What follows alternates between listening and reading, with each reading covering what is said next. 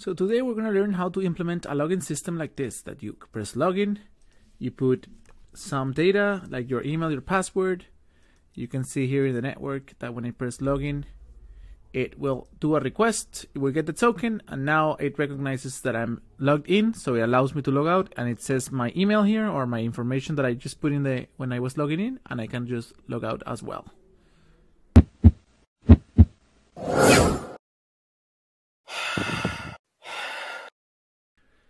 Let's start by explaining what authentication is. Authentication is needed because you have two endpoints, or let's say two systems talking to each other. It can be a user and a system, but generally it's system to system. Let's say that you have a laptop that it's basically a client, right? It can be any client can be a mobile phone as well and you have a server or an API. This is the classic model for authentication today. You have an API. That would be a backend. And when a request comes in, because we're using HTTP, so in HTTP you do a request from the front end, and then the request gets answered or responded by the backend. So it's always request response and is stateless. Stateless. What that means is that every time that a new request is made, everything has to be negotiated again. Like the entire, like this backend will have no idea if this laptop does two requests, like one first to get the users, and then tomorrow you want to get, or the next second, you want to get the movies. Let's say you're doing Netflix.com. So you need a users and movies, right? So, or you need movies and favorites. So the first request that it's going to get the movies, the backend responds, and the next time, the next time when the when the laptop or or the Netflix client requests again for the favorites, the backend will need all the information entirely again. It cannot like remember about who was doing the requests in the first place. So every time that you do a request, you have to tell who you are. Who you are. And how do you how do you say that? Usually we append a token to every request. So let's say that you're requesting about movies, right? So your request is going to be a get request slash movies. So you're doing a request to slash movies. Since the backend doesn't know who you are, it will reject that request with the classic 401. There are two states for rejecting in, in terms of security. You have 401 and 403. You can Google both. Here's going to be the information. So the first one would be. Oh, are you going to tell me? 403 it's 401 is unauthorized so that means that i didn't even send authentication. And forbid no the opposite my bad. Forbidden is this request is forbidden so you cannot access it. And unauthorized is that your access information it's wrong. So if I don't pass any token, let's say that I don't pass a token and I don't do this, then when I do a request, it's going to return a 401 because it's unauthorized. But if I pass a token, depending on this token, if it's good, bad, if it gives me access to that or not, it's going to return either a 403 or or or 200. Like if it's if it's all good, it may return a 200, right? So again, 403 would be 200 obviously it's okay. 403 means uh, forbidden. So i know who you are but you cannot access. And for one is who are you right? Who are you? You're not even authorized. I don't know who you are. Those are the response codes that you get in every response. So i'm going to put them in blue here. Okay. Now about the request so if I append a token, then it will know who am who am I, every time you have to append that token. And where do you put it? Like when you're doing a fetch request in in in the front end, or with either if you're using Axios or if you're using fetch, you know that when you're doing it, you say fetch, and then you put in parentheses the URL that you're fetching, so slash movies. Actually, it will be the host and then slash movies, like my website.com slash movies or my API, myapi.com slash movies. And then after that, you know that you put the options, right? Comma, options. So those options, I'm going to declare them first. I'm going to be something like this, like let options equal. And I have to pass the method, that's going to be a get. But uh, if I want to authenticate myself, I should pass additional headers. Those headers, or one header actually that I have to pass, is the only mandatory one for authentication, would be, it's called author authorization authorization. And then I would have to pass in the authorization header, I would have to pass something like token, blah, blah, blah, blah, blah, blah, like a huge token. What is a token? We should talk about that as well. A token is just a big number. But let me finish this little thing. Okay, I finish my opts, and then I can here close here, and that's my ops. Yeah, that's it. So I, this will get the response. Response and I have to await for it. That is if you're using promises. If you're not using promises, then it would be something like like fetch, the same thing, right? So the same my API movies opts, but instead of waiting for it, I can do dot then, and here I would get the response, and I would know if I was authorized or not by asking for if, like I could say here, for example, if the response dot status is equal to 200 that means it was okay right? But if it's equal to 401 that means that i didn't even add the credentials or the token. If it's 403 it's that i have a bit bad email and password. So you can alert the user. If you want to do something ugly you can just alert the user here and say um, invalid username or password and that's super weird or let's say let's just say um, let's just say you don't have permission. I think it's a better message. It's more accurate. Okay, so this is option A, this is option B, but I, I don't want to talk too much about this because I'm going to be confusing you. I, I better start with the rest of the explanation. So we just established that we need you need to pass a token now from now on when you're doing a fetch request. It's not only enough the method, you can also you need to also specify the headers or one header, the authorization header. In Postman, if you're familiar with Postman, I'm gonna open Postman and uh, until it opens, we're gonna continue talking. In Postman, there's a way of passing it as well. Okay, so what is a token? So basically, a token is a big number that you need to get from the front end for the back from the backend at the beginning. So the first thing that will happen in your in your API interaction before you can start asking for for movies or favorites or anything like that, you need to first ne- negotiate your login, your token. You need to get your token. So the same client and the same backend will do an initial negotiation or an initial request that it's going to be to get a token. That depends on every API, but it could be something like get. Actually, it's not get, it's post because you're going to be generating a new token. You're creating a token. It can be a post to token, or it can be a post. Some people do a post to login. I don't like the post to login because it's less explicit. Actually, you are not logging in. Logging in is it's a concept that doesn't exist in HTTP. You don't log in into anything. Login is something that was invented for the user. So I prefer to talk in terms of HTTP. And what you're really doing is you're creating. So that's why we do a post. You're creating a token. So if you're doing an API, you should be doing an endpoint that is going to be slash token and it's going to generate a token. So what you're going to get back from the server, you're going to pass username and password, right? So you're going to have in your body, in your fetch, like like we always say, we have fetch, and you're going to receive the URL is going to be slash token, and then you're going to be uh, passing as an option. Let me put the options here.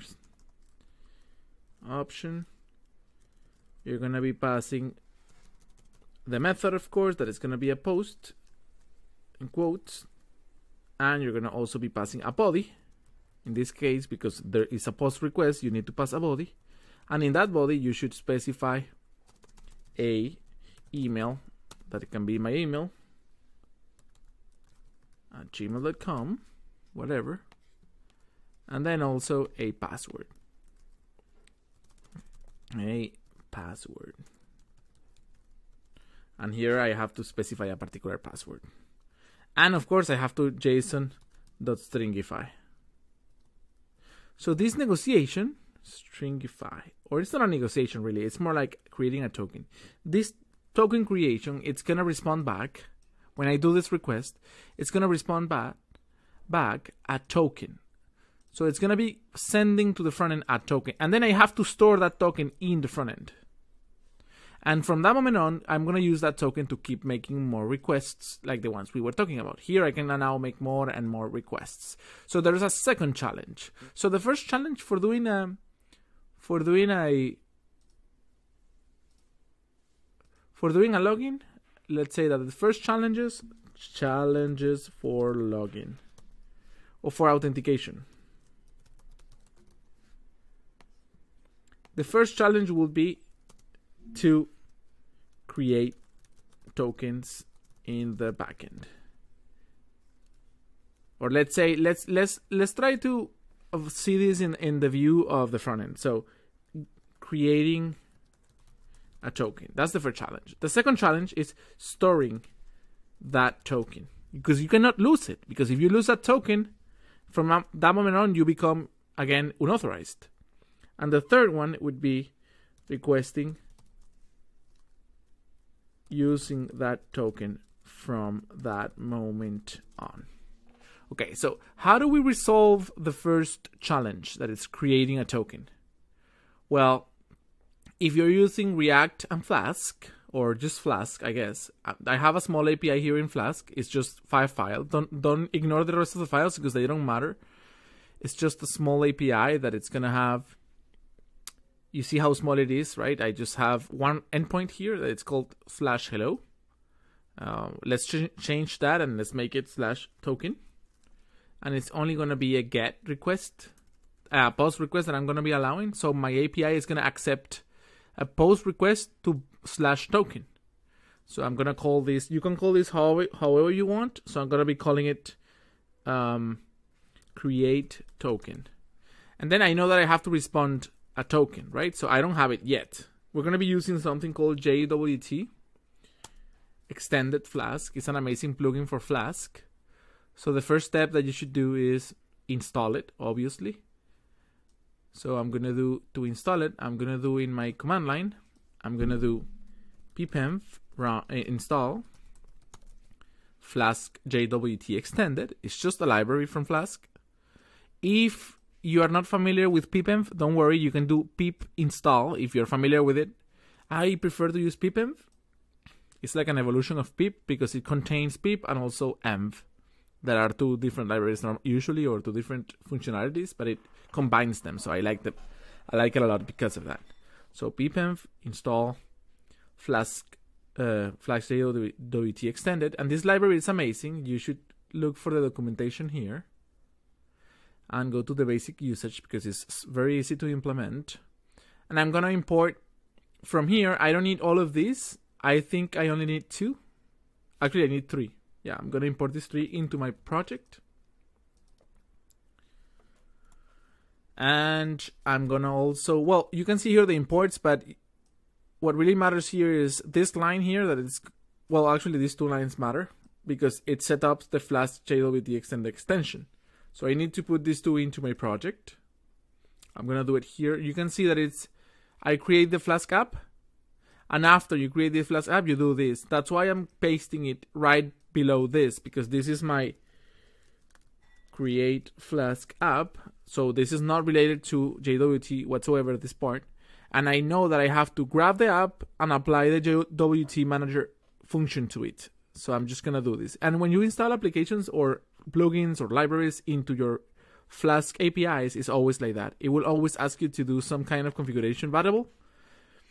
this super secret thing should be something horrible that a hacker will never guess, and it should be hidden. So my recommendation is to put it here in the .env as a backend variable. So you can do something like this, like flask um, secret.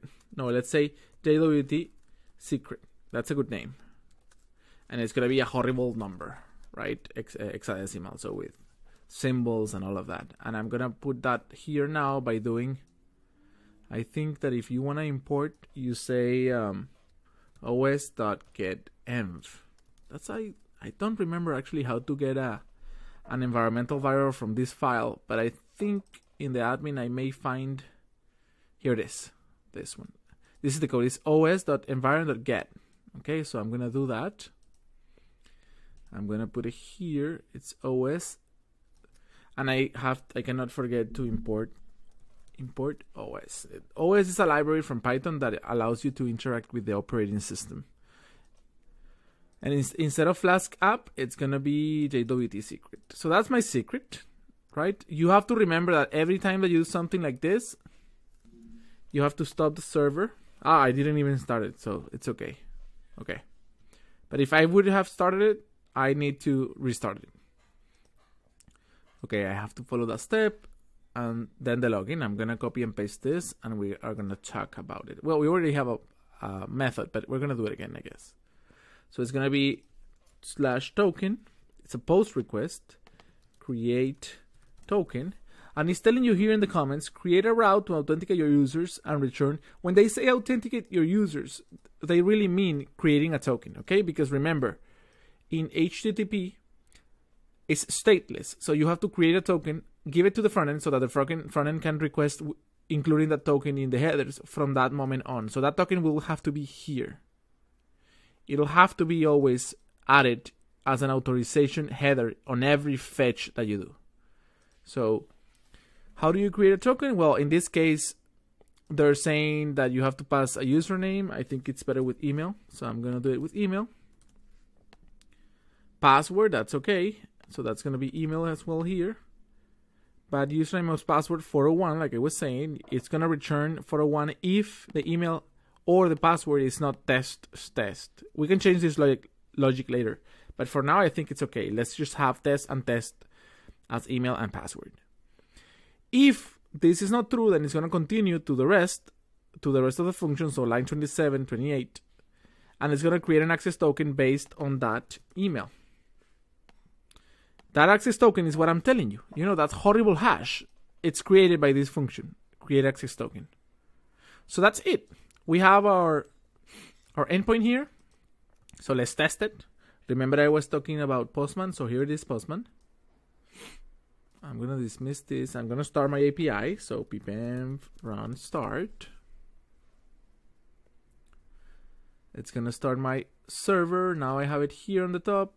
App is not defined in line 11. So let's check that. No, it's not in line 11. Source app app is not defined. Oh, it's yeah. For in my case, it's not app; it's API. So I gotta change that eh, to API. That's it. Okay. Let me refresh. Blueprint object has no attribute config. Right. So I'm, I think I'm missing something. It's not API. Maybe it's API.app. I don't really remember this. Let me pause and. Oh my bad, I was doing it in the wrong place. I was doing it in routes, and it's not supposed to be done in routes. So I'm gonna cut this. It's not in routes. In routes, is only for your endpoints. Everything I did was okay, but the only two lines, these two lines, have to be done uh, in in app.py that it's here uh, inside the source folder, app.py, and that's where you need to put it. That's where I have app available, not API app. Okay, and I'm I'm putting it here. I'm putting it in the line 19 or the 20 and 21 because it's after the app. I could I can put this one later. It doesn't really matter as long as it is after the creation of the app. You can put it anywhere you like. So I'm putting it in 20 and 21. So this is gonna be app. Yeah. I already have OS here, so I need to move these three imports. Actually, not the three of them, only this one, I think. Yeah, only this one, because that's the one I'm gonna be using the the function for. Let me see. No, uh, not even this one. Yeah, no, my bad. I don't have to move anything. Yeah, because these three functions are being used. Create access token is being used here. Uh, this one is not being used yet, but we're going to use it later. And JWT required is not being used yet, but we're, going to be using it later. So I think that's enough. Let's see. If, see if it works. App is not defined. Where is that? In what file? app.py in 11. app.py 11.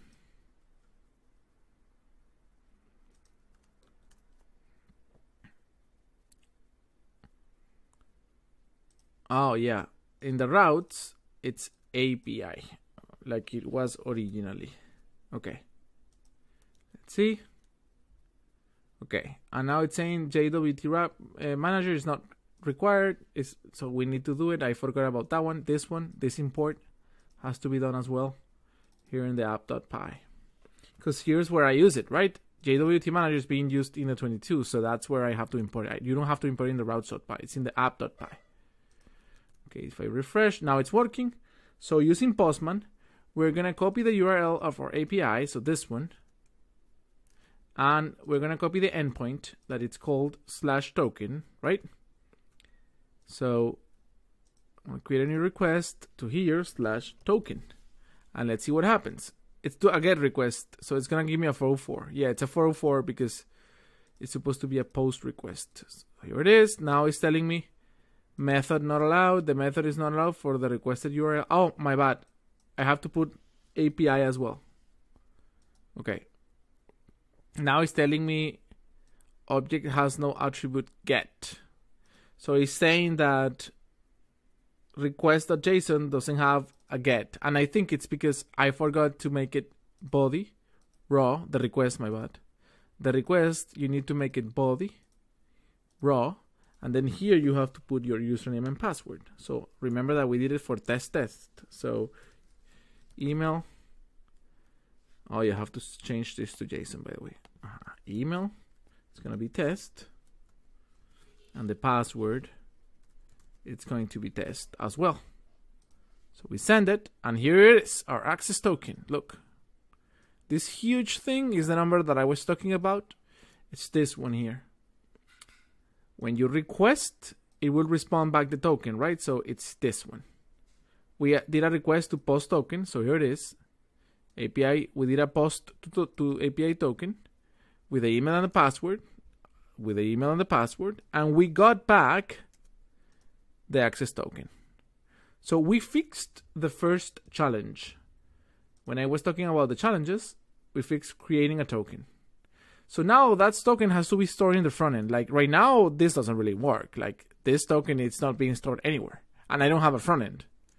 So we have to do the front end, right? So I'm gonna pause because I want to make a login form and I don't want to waste your time.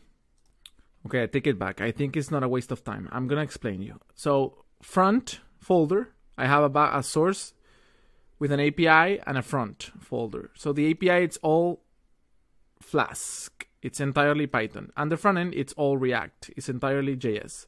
And I have the folder pages, the folder store, the folder component. So I need to do a new page, right? That it's going to be the login form. So I'm gonna just duplicate the home. This one, let's duplicate it. And we can rename it to login. It's the login form. And we're gonna have here inside, we're gonna have a a login, right? So login. Let me delete all of this. We don't need any of this HTML. So we're to have just one div that inside it's to have an input type text and another div that is to have an input type password and a button for sending it's to say login I guess okay let's see how that looks if we do npm run start, it's gonna start the front end, our React front end Let's wait for it to compile. There it is. It's compiled. Let's refresh. Or refresh again. At some point it should show up. There it is. Okay. So we're doing a login, right? So we have to look in the layout.jsx that where React Router is. So you have to have a, we're using React Router in this project. So we're going to have a browser router that is going to have a switch with all the routes of our application. So we have slash demo single day ID. So if I duplicate any of these routes, like this one, for example, and I put here login, I'm saying that my application now it's going to have a login, a slash login. So this application that is a front end, it's going to have now a slash login because I'm creating a new route.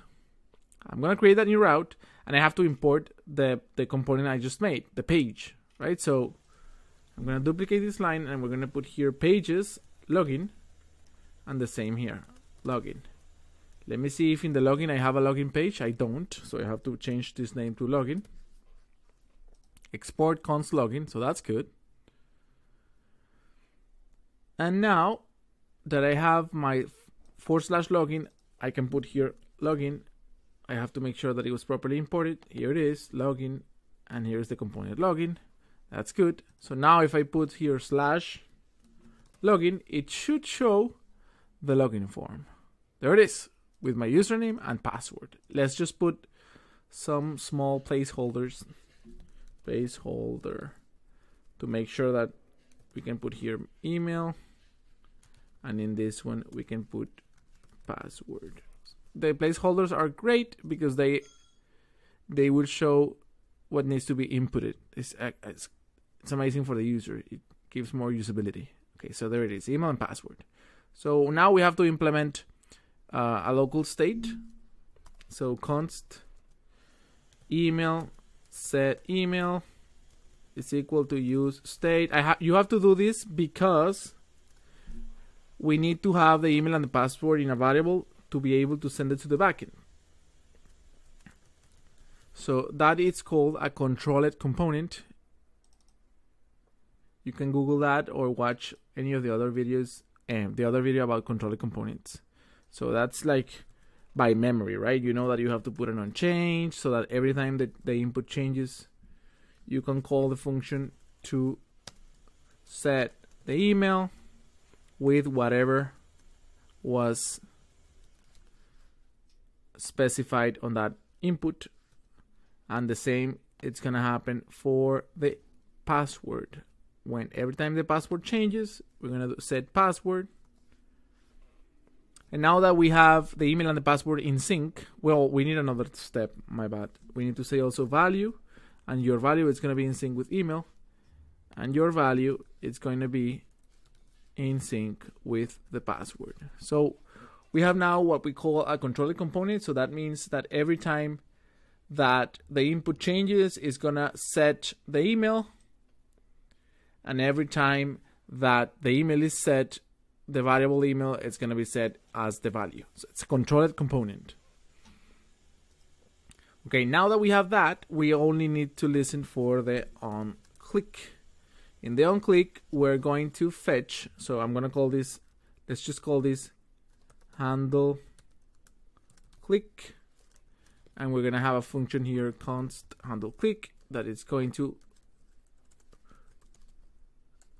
fetch, right? So we were talking about the fetch, right? So fetch, it's gonna be to slash login, but it has to be to this particular endpoint. So don't don't forget about your the the API URL. So it's gonna be to this huge URL slash API slash token. That's how we get the token, right? Because now we're replicating Postman. So whatever you put in Postman is what you have to put.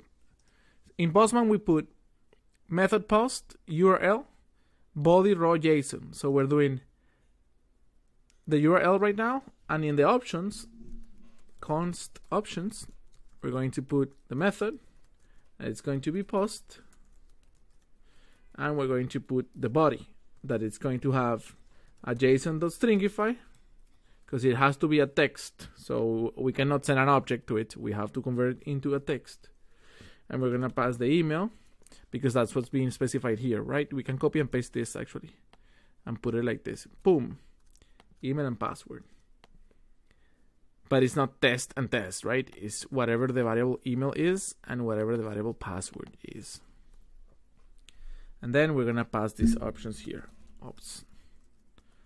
Dot then, dot then, dot catch. Please don't forget about the dot catch.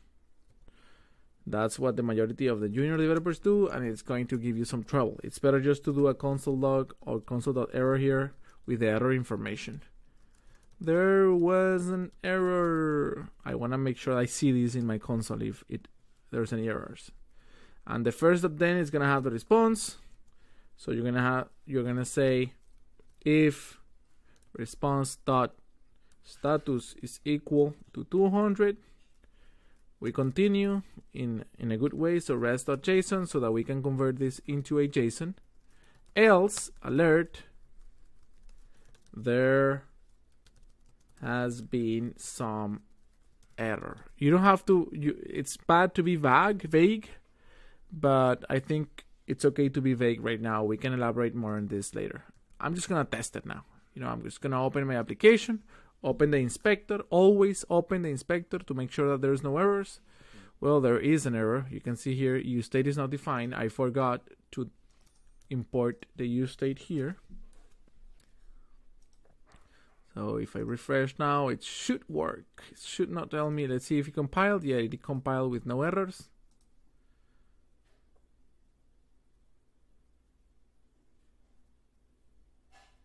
Okay, I'm gonna put an email, so test, and a password, so test. Let's click on the network tag, and this is key. Please, I beg you, with all my heart, always use the network tag. It's the only way to debug this. You don't wanna be in the dark guessing. You wanna be uh, assertive developer that fixes issues quickly and is not frustrated. And the only way to do that is with the network tab when you're doing interaction between backend and frontend. You have to intercept whatever's happening in the middle and see what's happening. You need to see it. And the only way is using the network tab and waiting here for the request. So when I press this button, it should show up here. Let's say one, two, three. There it is. You see? It said token. So if I click here in the headers, you can see what I did. This was my URL. It should supposed to match Postman exactly. You can also see that I sent a method post. So what was the problem? Let's see the response. Not I don't know what happened, right? But it's red, so that's bad. So another way that another thing you can do when when you have no information here is that you can click on you can go back to the backend and see the command line. Here it is. Look, it says NoneType object has no attribute get. So my guess is that there's no JSON here. Maybe I forgot. You know how in the Postman you specify here the type of body? Well, in frontend you have to do it by passing a header. Headers that it's called the content type. So content type it's going to be application JSON. And then don't forget this comma. And let me try again. Maybe if I pass the application JSON, it will my backend will think that this is actually a JSON. Because in my backend here, in the routes, here's where I decode request.json. So I'm hoping that it's able to get from the JSON. What is the JSON? The JSON is what you send to the backend, right? When you're sending something, you're passing a body in the request. This body here is a string. This body is a string. That's why you stringify it. It's not an object, it's a string that looks like an object. So that's what you send to the backend. This here. This is a string that looks like an object, but it's really a string. Okay, let's try again and let's see if now it works. I'm gonna refresh. Okay, and now I'm gonna put test and test and then press login. Boom. Okay, better. You see, there has been some error, and you can see two little two little requests here in the network tag. The first one's a 200. The second one's the second one is a 401. We can click here, and you're gonna see the status code 401. So that means bad username or password. We need to check why. I'm passing email test password. Oh, there it is. You see how the network tab is amazing. It shows me the request payload. So what I send, if you scroll all the way, every time you click on this red one, if you scroll all the way down, you're going to be able to see the to see the payload. And I can see here that the payload is wrong because it's passing tet, not test. So I can just fix it here. I put only three characters. So T E S T login. Now it's good. You see how now that this red one is still here, but because it's a history, it's historical. But the new one here, it's getting as a response the token. You see, access token and the entire token. So we just fixed the first issue. The first issue, the first challenge was creating a token. Now storing that token. The problem is that if I refresh, I'm to lose the token because every time you refresh, the entire application will get loaded from scratch, the entire front end. So here in the login, when I get the response back in this dot then here, this is data, right? And this data is going to match exactly what you see here in this um, in this response. So it's going to match an object an object that contains access token and the token. So we have to put that somewhere. And for that, we have a small API that is called the local storage. It's a browser thing. Local storage is a way to store information persistently. So that means, let me do a small example here. If I am in any website, let's say that I'm in GitHub, right? And I do some JavaScript here. Let me open here my JavaScript console. If I do let name equal Alex, and I press enter, and then I console log that name, it's gonna say Alex, right? There it is, Alex, perfect. But if I refresh, right, and then I do console.log name, it's gonna say nothing. Look, it doesn't remember that I had a variable uh, name and that it was Alex. So the only way to fix that is by doing is by using something that is called a local storage, or you can also use uh, session storage. It doesn't really matter; both will work. And then you do set item, and then you can pass name here, and then the value. So my value is Alex. So I'm saying, hey, look, hey, session storage, please. I want you to save a variable called name with the value Alex. If I do that, and then I refresh, if I refresh, you can see that I can do console.log local storage, oh my bad, session storage, that's what I was using, dot get name. Oh, it's get item, my bad. Get item name. See? Alex. So it's super cool because now I can refresh, and even if I refresh, I can say, for example, let name equal session storage dot dot get item name. So basically, I'm retrieving from the session storage the name, and I can do console.log name, and it remembers that it's Alex. So basically, this little function here for getting and setting items, it's a way to save information even with refresh. So I'm going to do here local storage or session storage dot set item and I'm gonna, not going to call it name I'm going to call it token and what's the value data dot access token. How do I know this? Because it's what comes from the backend an object that contains access token as a property. So I'm doing that object data dot access token. Let's console log it as well so that you can see it. Console.log data and we can put here this came from the backend okay. So we're saving it. But one more thing that we have to do is I'm gonna put here a condition now and I'm gonna say I'm gonna say if session storage dot get item. Then then I don't need I don't need I'm gonna say you are logged in with and I'm gonna put the token. Let me just put this here. I think it's better if we put it in the at the beginning. We're gonna do like this.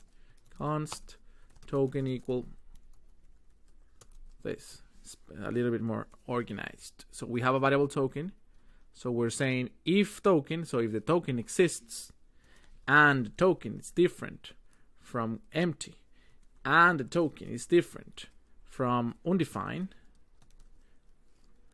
then you are logged in with this token. If not, we're gonna pass the entire login form like this. Tuk tuk. I should put the div inside as well. My bad. Let me put it inside as well. Here it is. Any any issue here? I think there's an issue there, but I don't recognize what it is. Ah, I forgot to close this parenthesis. So here it is. Okay, there you go. So let's see how it works now. So remember that we, in the login here, we set item and we're getting the item at the beginning. Get. So what's gonna happen? If I refresh, I'm refreshing right now. Let me also do here console.log. This is your token. I'm gonna pass the token to the console log. Okay. So let's put here in the. I think I missed a semicolon. Oh no, I didn't. I, I can just re refresh. So here we are in the console. You can see that it says Let's wait for the console. This is your token, null.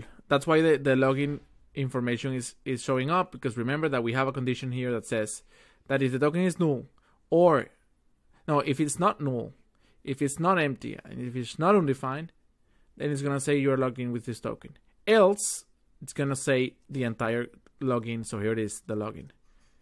So look how cool this is. I can do now local session storage dot set item and I'm gonna put token and I'm gonna put here blah blah blah blah blah and enter. And now I'm gonna refresh and this is gonna go. Look. You see? You're logged in with and if I refresh it doesn't really get um, it doesn't show the login anymore because I have it in the local storage. But I can do I can do session storage dot I think it's destroy or remove remove item I think it is token and it will clean it up. Let's see if it works. I refresh. It's supposed to be cleaned. It should show the login form now. And there it is the login form. So now let's try with test and test you know? I press login. This came from the backend, so the access token was saved. So if I check now, if I do a console.log of session storage.get item and I retrieve token, it should show. There it is. Look, my token. I did the console.log and here's the token. So if I refresh, it's not going to show up this again. But maybe you're saying, but yeah, but you shouldn't refresh. Like it should be automatic. Obviously, it should be automatic. So we're missing one more thing and it's we need to put this into the context in a, as a global variable to share it among the entire application. So we could store the token in a local state here, but it wouldn't make any sense because then we would have no access to the token to the rest of the application.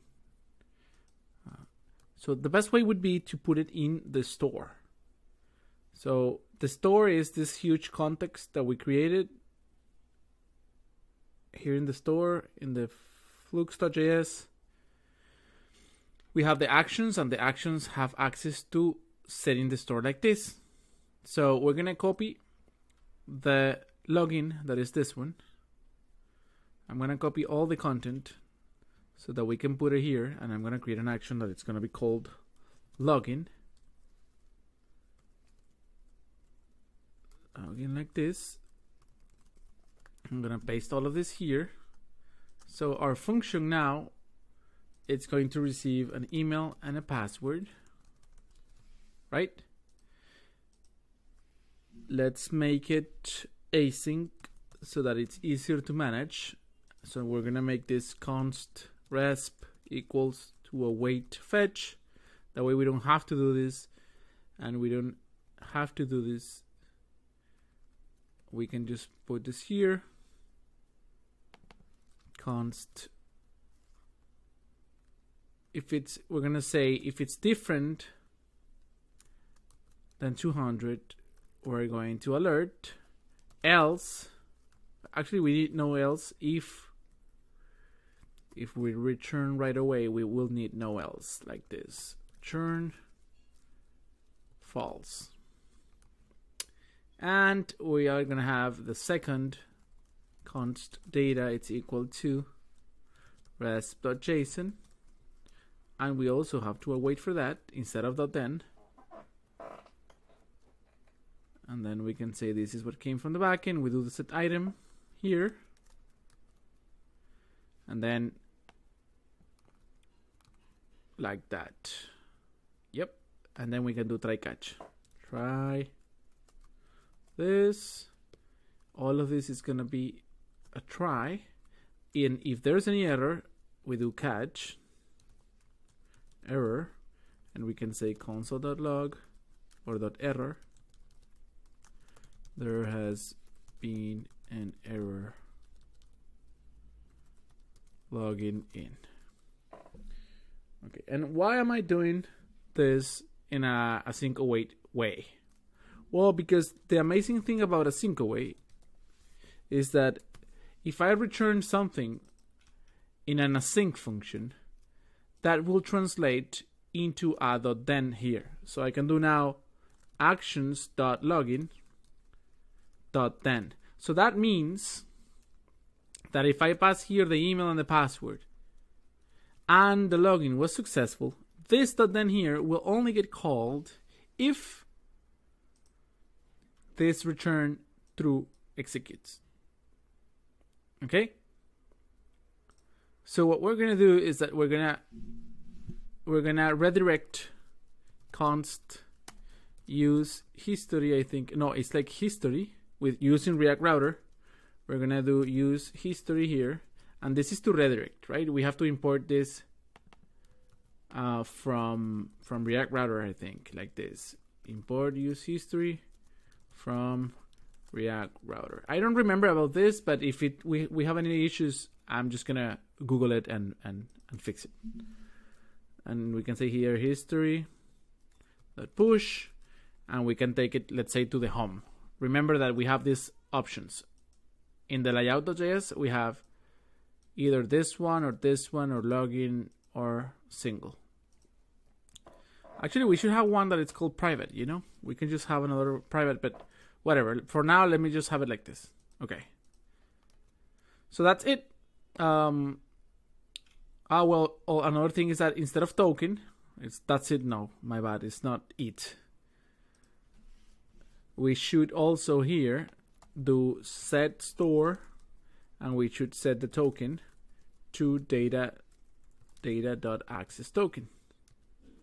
So the same token that we're storing into the session storage, we're also storing it into the store. So we should put this here in the store. We should put token like that. So that's it we have well let me make it null i think it's better so in the store we have initialize token in the actions whenever the the login finishes after fetching and waiting for the response json and making sure that there's a data access token we're gonna set it into the persistent storage like into the session storage and we're also gonna put it in the store. And when we put it into the store it's gonna automatically re-render the entire login. And hopefully it's it's going to yeah let me you know what? Let me comment this for a second so that you can see without this all we're gonna do is we're just gonna do actions.login and that's it and without the history thing so let's see let me refresh well it says that i'm logged in right now let me see Oh my bad. I have to do ppm. No, npm run start again because at some point we had an issue and the application stopped. Let's see if we have any issues. Compiling, compiling, compile with warnings. So it's good. Let me refresh. It's gonna probably say that we already have a token because it's already in the in the in the local storage, but we can clean that in the session storage. My bad. We can clean that token so that we have no. Let me put here slash login. Okay, perfect. There's nothing in the local storage probably. Let's try with test test. Let me open the inspector. If we open the network tag, we should see the interaction with the backend. One, two, three, boom. There's the interaction. And you see how it refreshed without me having to refresh the website? That's because the the because we put it in the store, right? Here. We did set store. And remember, when you call this function set store, the login view will refresh because it's hooked to the context API. So the context API will re-render the component and the next time it renders, it would know that there is a token in the session storage. We're doing a get item. We don't really need this because we can just um we can put it here like this. We can say store the token and it will be the same thing. Store the token. Store the token. Okay, now the last part is the redirect that I was showing, right? So let's do that redirect. I'm gonna put the dot .then and do the history of the push, right? So what we are going to do is that we're gonna refresh. Actually, we can do it even better, you know? We can say like this. We can say if if store the token and store the token is different than empty and store the token is different than undefined we can do history.push and I think it's gonna be even better. That way we don't have to do the trick that I was doing with the .then. We don't have to convert this function into an asynchronous function or anything like that. So anytime that it finds a token, it will take me out of the login. Yeah, it will redirect me out of the login. So let's try that. Let's refresh. And it's not going to work now that I remember because we're missing one little step. We're missing one step. You'll, you'll see how it doesn't work. Let's wait for it to refresh. Well, it's taking a while. Okay, it finished refreshing and it says token is not defined. This token is not defined as in login in the line 13. So 13 here, this one. This should be store the token now because we're putting it in the store so that it can be shared among the entire application. Okay, it finished loading and now it says email and password. So it didn't recognize the local storage. Let me show you also here in not in the network tag, but in the next one in the application tab you can you have access to the local storage and the session storage. So I can see if I click here, I can see that in the session storage I have a token. Look at it. Here it is. And still it's not being recognized here. Why? Because I'm getting it from the store. But when you refresh, nothing is filling the store. Like the only moment in time that I'm setting the store with a token is after login. Right? So who's setting the token after refresh? No one. So I should be doing that. How do I wait for the refresh? The best place in this in this context, in this uh, template or boilerplate, would be in the app context. Here, it says this function is the equivalent to the window.onload. It would only run once the entire application lifetime. You should do your AJAX requests or fetch API requests here. Do not use your state. So basically, I can here say state dot actions dot whatever. So I'm gonna do like let's say um, uh, sync token from session storage store. And I'm gonna call this function. And what is this function going to do? It's an action, right? So I have to fill it in. I have to come here and I can do now fill sync token from local storage.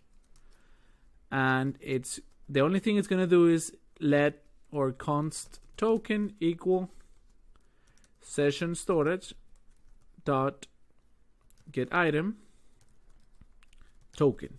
So it's gonna get the token from the session storage and it's going to put it in the store. Okay? But only if it exists and if it's different than empty and if it's different from undefined. It's going to set the store so according to my calculations this sync that now is going to execute at the beginning of the of the application so when the window doesn't load like when the application finally finishes loading it's going to sync whatever's in the local sto- session storage in the token variable into the store. So that's the final step. Let's see if with, with that we can finally actually you know what? Let me do one more thing. console.log application just loaded syncing the local storage the session session storage token. Let's see if it works. It says state.actions that sync token from session storage is not a function. So let me see sync token from session storage. It should recognize it. Let's see. Oh my bad because i said here in the 926 i said that session storage get item token is token and i need to put here token not data.access token because i copied it from here. And here is data.access token because we got it from the backend waiting for the response JSON. But in here, we are waiting, we're not waiting for anything. We're just getting it from the session storage. So it's token, it's equal to token. So that's one thing. It's going to take another five minutes to refresh. I, I don't want to waste your time. I'm going to stop until it fin finishes refreshing. Okay, it's finalized. It's finally refreshed. Look at this. I'm going to try to log in. Log in.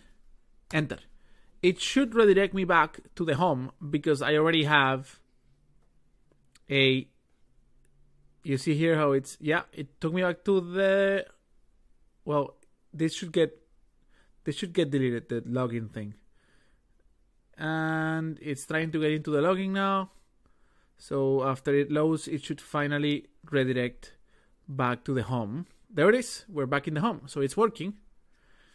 And Another thing that we could do if we want is that here in the navbar, in the navbar, we could say, let's say this, let's hook the navbar to the context as well so that we can refresh the navbar when we're logged in. So we're gonna paste this here. We're gonna copy the import as well, like this. And then we can say here, if store.token then or if there is no token we can say that we want to add this that says login login. Please log in. And or if not we can say log out log out. I, I think the please is not needed so just log in and log out and this one's not gonna take me anywhere by the way this uh logout thing instead of taking me anywhere I'm just gonna do an on click that when click it it's going to call a logout function that we don't have so actions.logout like this and I have to of course create that login function. So in the flux.js, I'm going to have, similar to I have the sync token from the session store, I'm going to have now log out. And what am I going to do? I'm going to do remove item to delete the token entirely from the local storage. Let me put here logging out. And in the in the store, I'm going to set the token back to null. So I'm just basically removing the, the token from the session storage and setting the token to null and it's gonna magically refresh so let's see now after it loads let me pause until it loads oh it's telling me that use context is not defined so I'm guessing that here in the login I have to import. Yeah, I have to import use context in the in the navbar. So here. Yeah, I forgot that. My bad. There it is. Use context. So it should work now. Let's see. I'm gonna refresh. It's gonna take a while, so let me stop. Okay, here it is. It log. It it it finally showed up. So if I press logout, look what's gonna happen. One, two, three, boom, and the local storage now. If we go to application, in the session storage we have nothing. You see? So if I try logging in now, I'm gonna do test, test, and if you look here with your eyes at the local storage, boom, there's a token now. You see, and it says logout. If I press logout, the token gets removed from the local storage. I can log in. So the last step will be from now on, every time that I anything that I do, I would have to append the token. So that's the last last thing. Remember I was telling you challenges, creating a token, done. Storing that token, done. Requesting using that token from that moment on, not done yet. So I'm just gonna do one little request now. I'm gonna do one little request using the token. So here I can say, for example, let's say this get messages, get message. It's doing a fetch to the API to hello. But it's not appending the token, right? So we have to do const opts. And then we can do here here headers. And here we do application. No, my bad. Uh, authorization. Authori authorization. And as a value, we put bearer I think it's better, but I don't remember. The, whatever's on the documentation. Let, let's check the documentation for a second. Okay, it says authorization bearer access token. Okay, so I was doing good. Bearer space and the access token that is store dot token. But I need to const store equal get store. I need to retrieve the store first here in, in this action, then store dot get token. That's very good. And now I can pass these options here, comma this. And now I can do a request. But this request, this request in the backend that is not done, it's API hello. So let me, let me do it because I don't have it. I'm gonna duplicate this request. I'm gonna make it a get to hello and here let's say get hello this is our endpoint and we're going to return just hello world right? Let's say just hello. No it has to be an object my bad. So let's say json a message hello world whatever right? I'm just returning something. So i'm gonna jsonify this. This is better to call it dictionary. This is not really a JSON. It's a dictionary that is gonna be converted into a JSON with by the JSONify function. So this this endpoint here, if I add this JWT required decorator here, I'm gonna make it private. So only people with an appended token into the request will be able to access this. Let me show you. So if I try now to do a, a request a get request. So a get request to hello. It's gonna tell me unauthorized. You see? Because I have no token. Because it has this little decorator here. So I can remove this decorator. And if I remove it and I try again, it's gonna allow me. Look. Message hello world. So now it, it allows me. It's at 200 okay.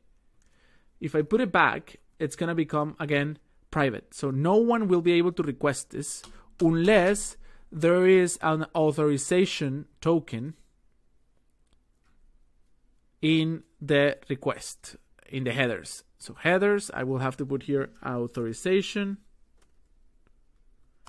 and I have to put bearer and some token, right? This is not the right token, right? It's it's not done, so it's gonna give me not enough segments and a 422. It's it means that it doesn't even know how to decode this token. But if I copy a token that exists, so let me grab that that exists. I'm gonna log in. I'm gonna copy it from here. I'm gonna copy this token from here, and I paste it here in the bearer, and I try, now it allows me. You see that 200 because I'm passing the authorization bearer with the token. We can do the same from the front end. We can come here to the actions in the Flux.js and we can paste here that token, but we're not going to paste it manually like this. It doesn't make any sense, right? We're going to grab it from the store. And you're going to see how if we do get message, let me put a button here in the home that says get message.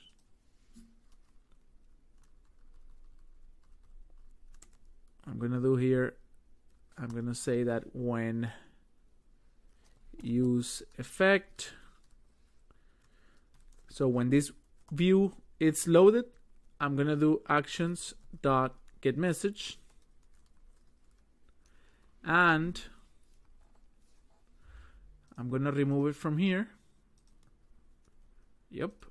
And then so get message is gonna occur after this use effect.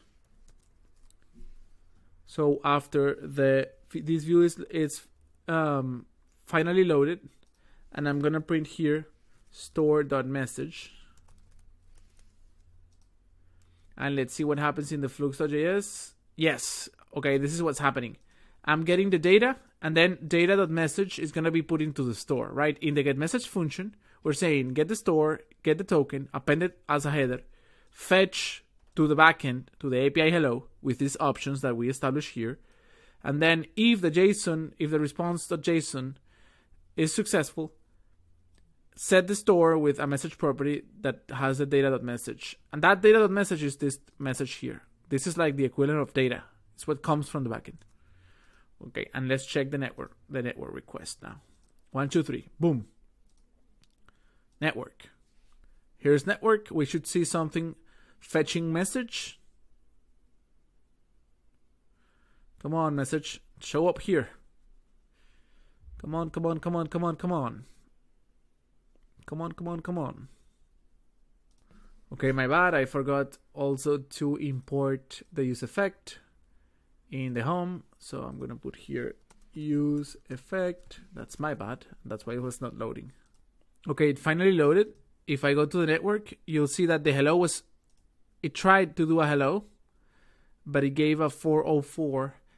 And I'm guessing it's because the I forgot about the URL. I put the wrong one. I'm gonna copy this URL, and instead of having um, backend URL like this as a variable, I'm just gonna put it the entire URL here in the fetch, and hopefully it's gonna be now to the Amethyst Impala. That's my URL because before it was being done to the wrong one. Let's see.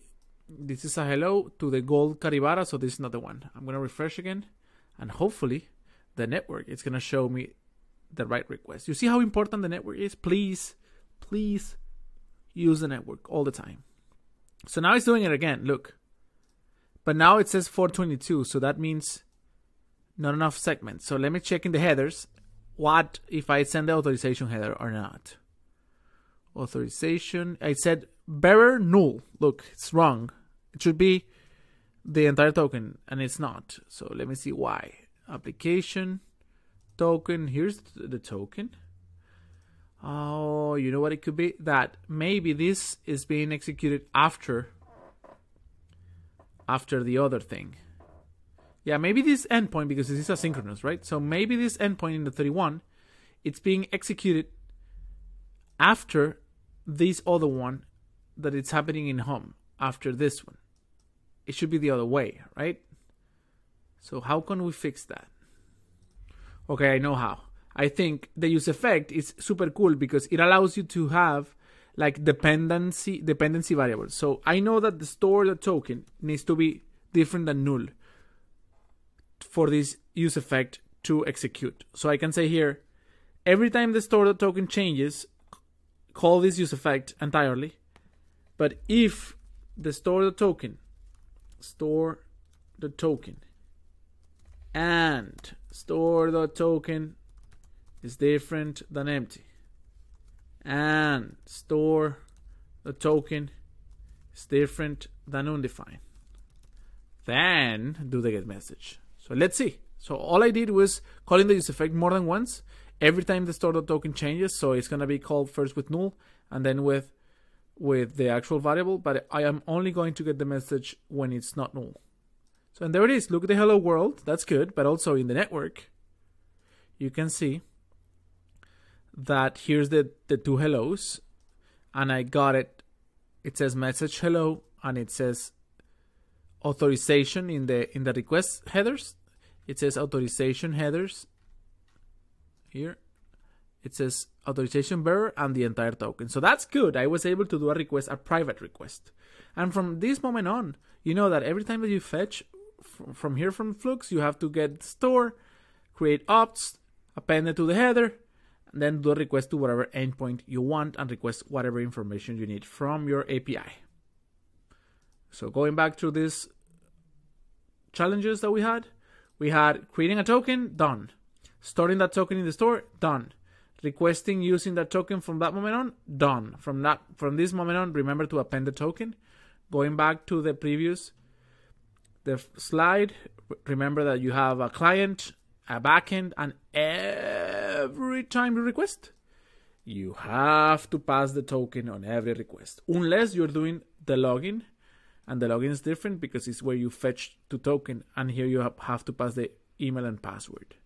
And obviously, login, the login endpoint here, the slash token endpoint, it doesn't need a JWT required. So don't do like this. Don't put this in here because the login is supposed to be public endpoint. Anyone without a token should be able to call it to be able to get a token. That's it. So there's actually one last step that I wanted to show and I forgot, so I am adding this last part of the video. That it's you can know who is requesting your your uh, the information. Let's say that I have in my front end, I'm doing this request, right? That it's going to ask for API hello so if I want to know who's requesting on the backend, I can do like I can use this last function that it's called get JWT identity. So I can say here email it's equal to get get JWT identity. So we can say hello world and then plus email. And look how cool this is because if I refresh now, you'll see that it's gonna tell me hello and it's gonna give you my email as well. Hopefully right? Well you can see it's a 401 already. Why? Token has expired. Yeah so I guess I have to log out and log in again. I can put test test login and it says now hello world test you see so it knows that my email is test what is it know how does it know that well it's like magic basically when you have this function get JWT identity, it's gonna match. You can see that it's matching with this. So when you created the token here in the other endpoint, remember that this is the endpoint that, that we used to create the token. This one, create token.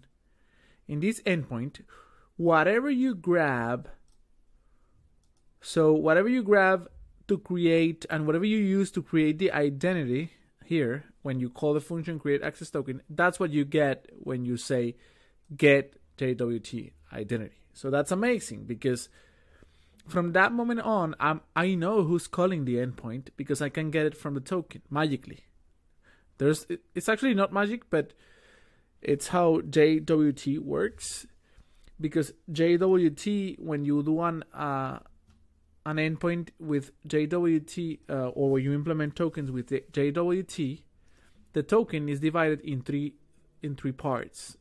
Here it is: the header, the payload, and the verified signature. So, so this endpoint, uh, my bad, this token that we were storing in the session storage, in the application, this one, you see how the the token has a little dot here? And if you continue to the right you're gonna find another dot. Somewhere here it is. So that means that there's three pieces in this token. So the first piece is the header the second is the payload and the second one is the verified signature. So in this payload you can store in the payload you can store things like id username email and How do you do that in this library? By passing it as an identity. So basically, we're able to store information in the token, and in this case, we're storing the email. So every time that we have the JWT require the creator in a function that is gonna handle a, a request from an endpoint, we can get that email or that information, in this case the email, from by using this get JWT identity function. That, so that's amazing because that's actually authentication. So we know not only that you are who you are, that you're that you're logged in, but we also know your email. So for example, if we wanted to get all the payments that this guy has done or this person has done in the last year, we could because we have the email. So we can now retrieve from the database all the payments that this person has done.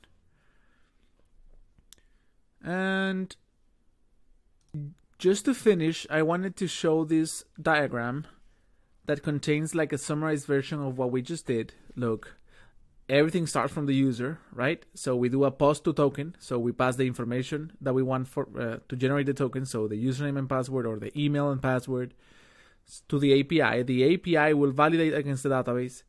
And if there's a user and a password that matches, it will create a new token and it will generate the token for us. It will send it to the user or to the client.